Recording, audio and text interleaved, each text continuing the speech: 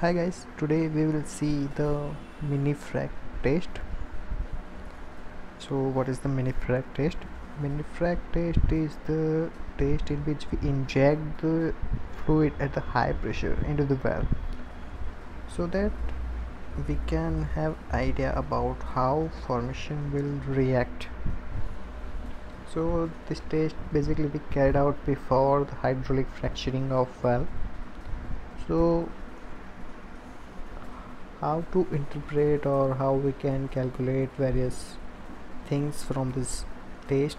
So for that we have to plot this graph that is the pumping pressure in the y-axis that is increasing in upward direction and the time in x axis that is increasing toward right.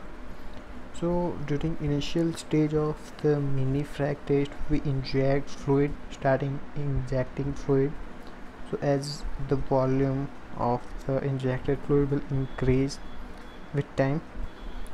So it will increase the pumping pressure. We have to give more pumping pressure to inject more fluid because we are injecting in a confined space or bottomhole space. So we have to inject at higher pressure. So as we as we increase the higher volume of fluid with time so it will increase the pumping pressure till the formation breakdowns. So here we can see here at this point breakdown pressure formation will break down and it will initiate the fracture then pressure will reduce because here volume will increase due to fracture then pressure will reduce to some extent and it will propagate.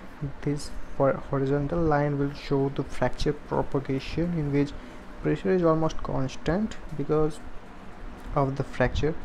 And uh, at the end of this fracture propagation line we stop the injecting fluid. So we stop the pump. Then the leakages from the fracture will occur and the pressure will subsequently reduce to instantaneous shut-in pressure. That is instantaneously it, the pressure will reduce to that point and then slightly it will reduce to closure stress. That is called the fracture closure point. So this is the basic analysis of the mini frac test graph